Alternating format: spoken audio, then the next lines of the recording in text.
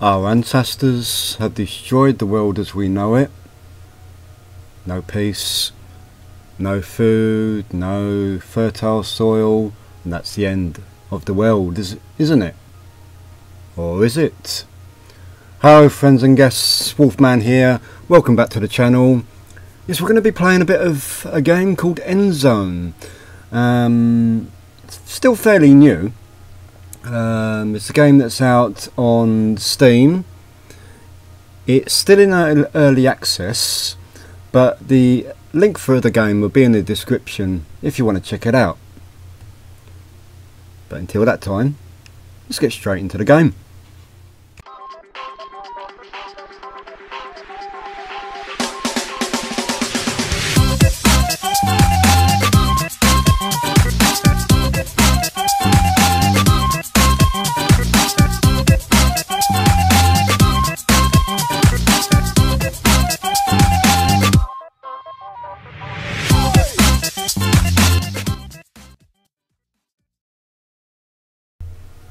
Well, Endzone, what's it all about? You play games like um, perhaps Surviving the Aftermath. Similar way to that is. Um, but without spoiling it, I'll get straight into it so you can check it out for yourself. We'll start a new game. Now, um, can play free mode for survival, but I'll put the tutorial on for you guys. So you got a basic knowledge of what you need to do. Remember guys, if you like the game, click like and share, it will help the channel a lot.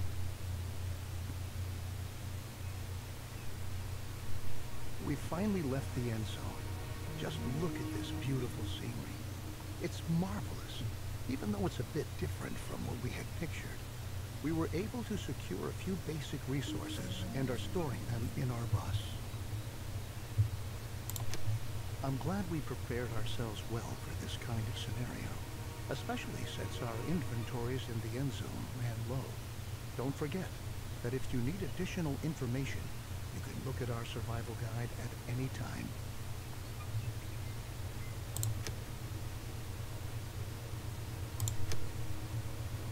Yeah, that's just given us the tasks we need to do.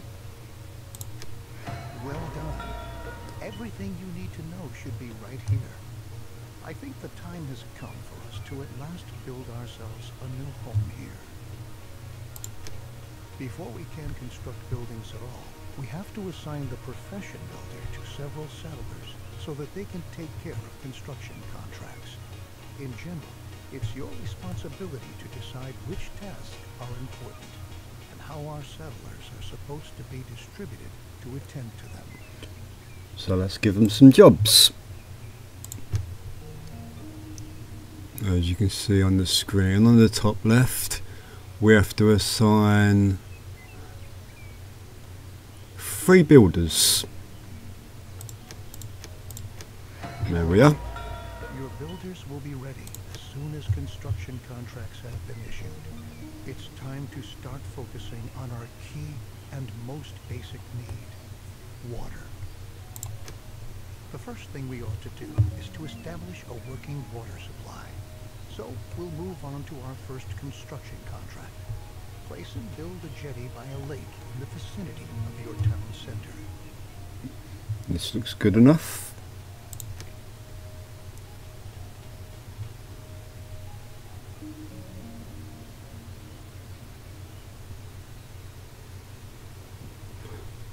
We need to build a jetty. Mm. Turn that round. Let's have a look.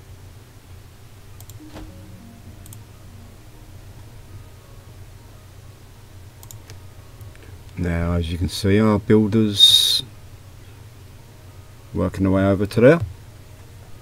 And they'll build the, not the Yeti, it's not snowing, The gesture.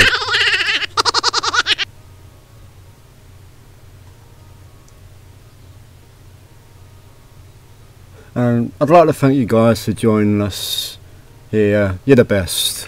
If you're new to the channel, consider subscribing so you never miss a single video.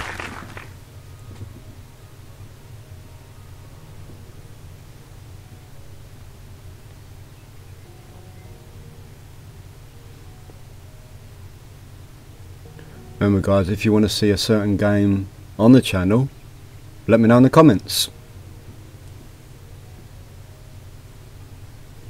Right, let's we'll speed and we speed it up a little bit. There we go. Very good. The jetty was completed as planned. We have a place where we can collect water.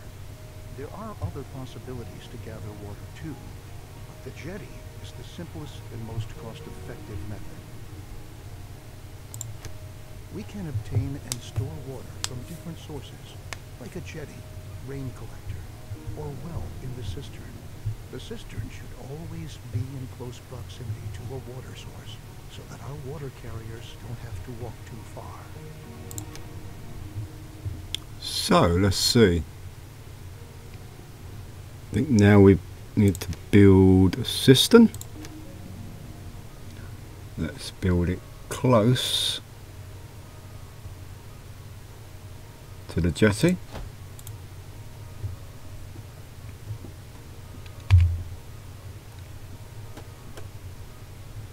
Here they go, building again.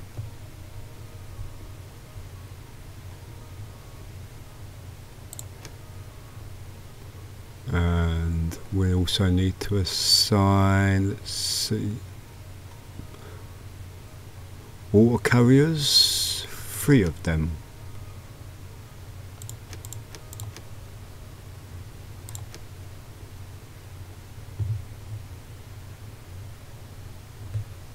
And as soon as the cistern's built the water collectors will go from the jetty to fill that up as you see there they go.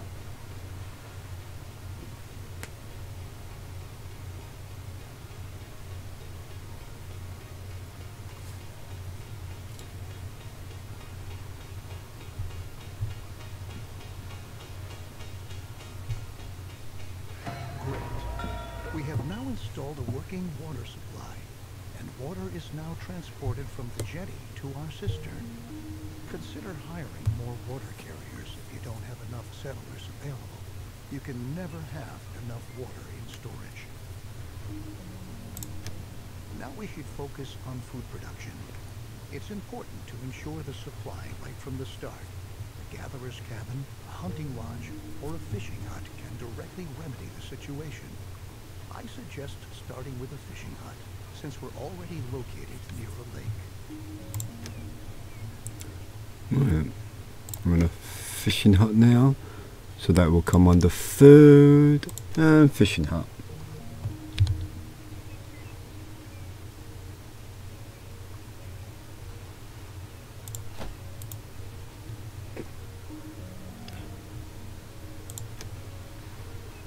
Now we need two people working on fishing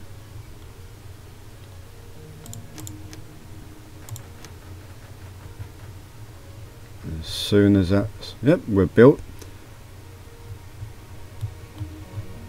We'll get them fishing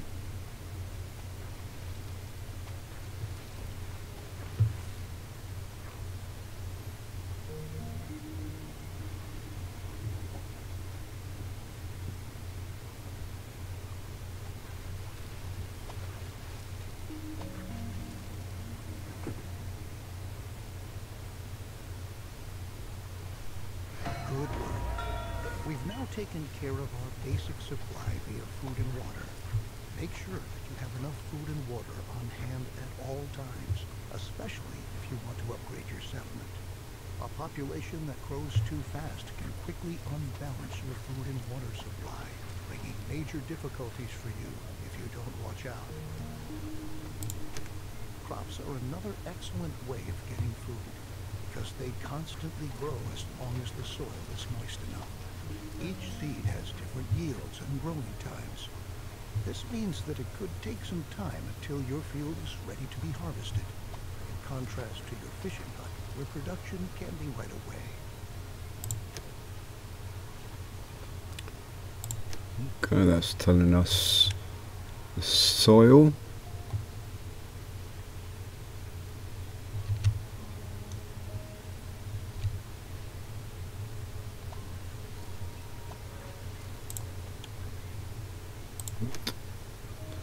Let's cultivate some fields.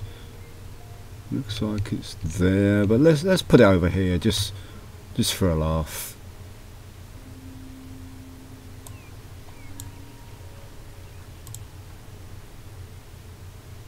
There we go. That looks good enough. We need to assign one farmer.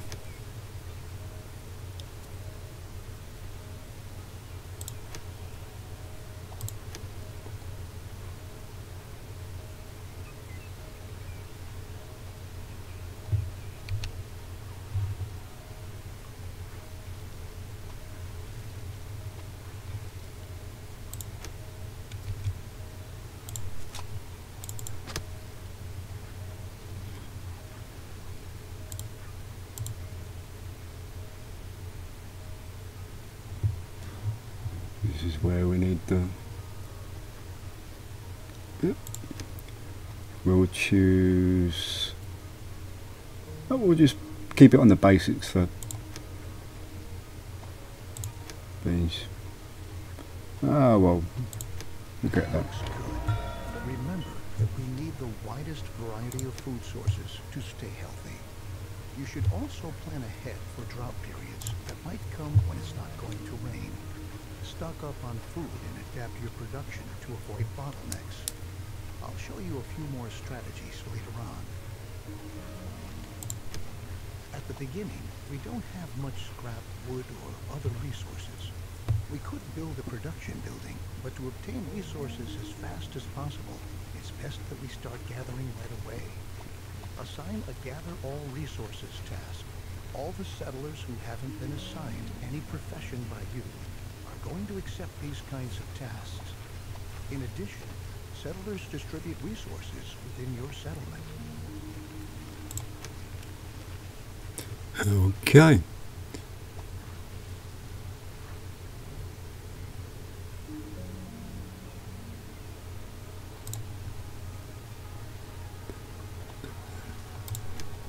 Gather some wood first.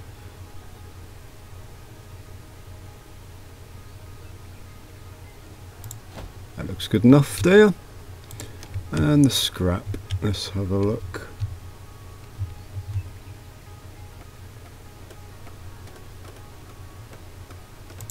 That will do.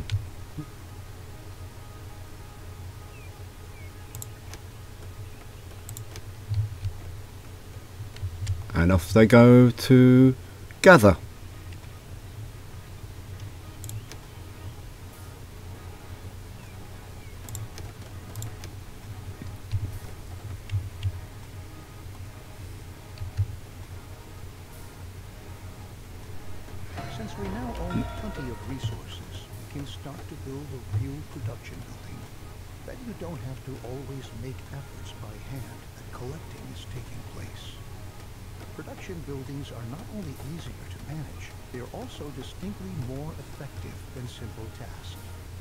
Place production buildings too far away from your settlement. You'll be able to change their working area at any time later on. Right on. The best thing for us to do now is to build a forester's lodge to automate our supply of wood and make it more effective at the same time. Foresters are not only able to chop down trees, they reforest areas with trees as well. Okay.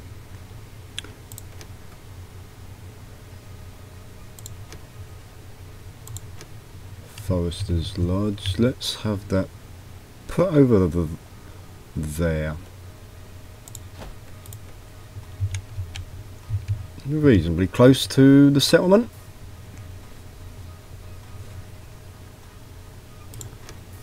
Uh, what do we want? For one forester.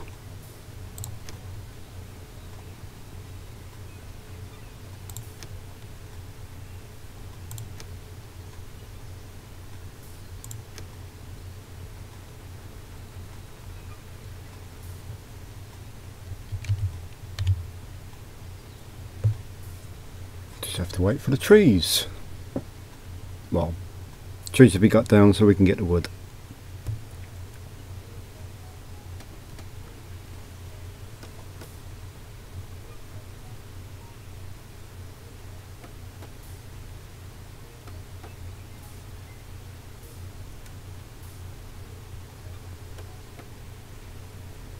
Yeah, the wood's coming in nicely now. Good job. You might want to change Thank you. building's working area later on to tell your workers where they should get their wood from. Ah, and for your information, if you want, you can also tell your forester's lodge that they only ought to attend to reforesting an area in order to create a lush, green forest which generations to come can use. Very good. Now we ought to take care of collecting scrap. Scrap is one of the most valuable resources because the quantities present are limited, and we can recover other resources from scrap. Unlike the task we just had, the scrap yard allows larger quantities of existing scrap to be dismantled than with ruins or wrecks. Okay, what do we want now? A scrapyard.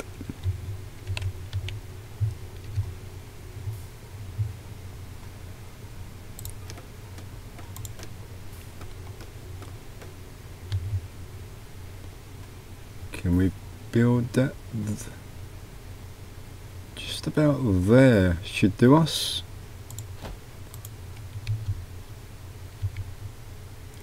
And we want So one scrap collector.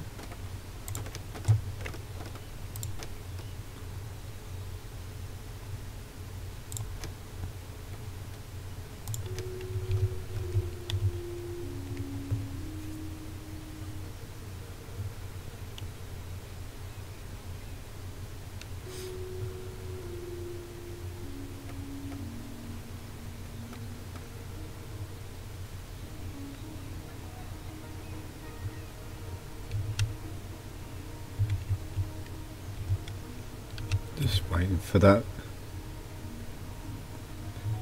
building to get built. And let's have another task done.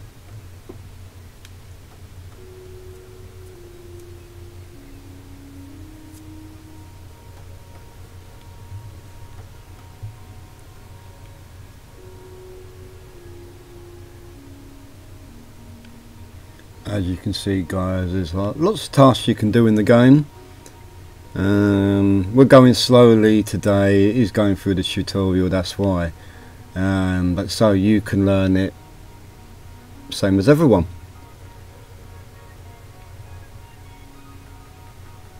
There we go. Our scrapyard's being built now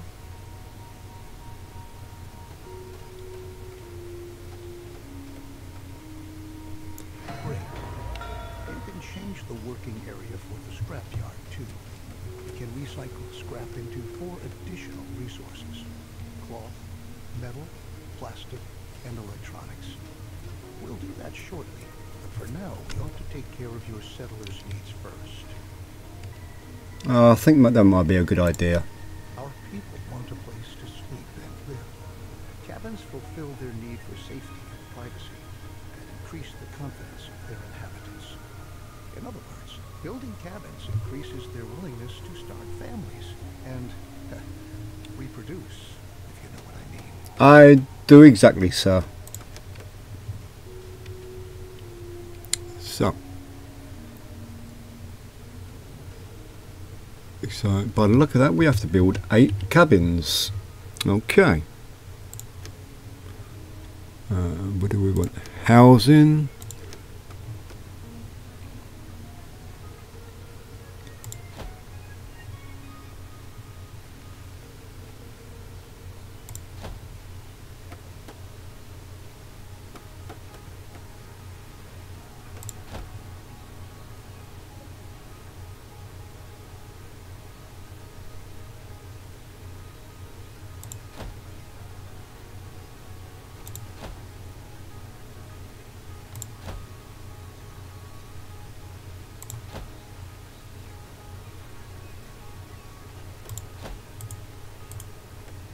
Yeah. That's our cabins queued up.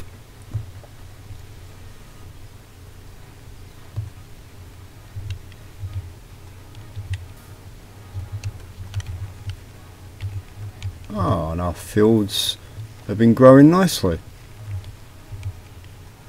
And we've got water there, food going through to there, the fishing hut. We've got the houses being built, well, the cabins being built now.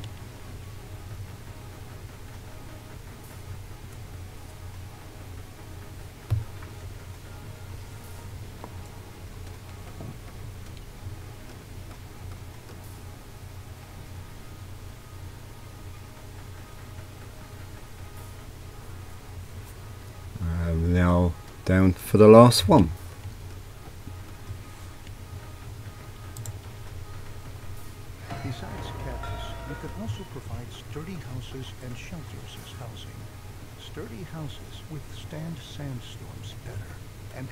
Increased storage capacity to boot. Children living in houses gradually fill up the house's stockpiles.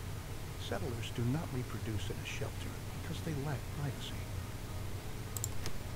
Let's return from our excursion into housing and refocus on scrap.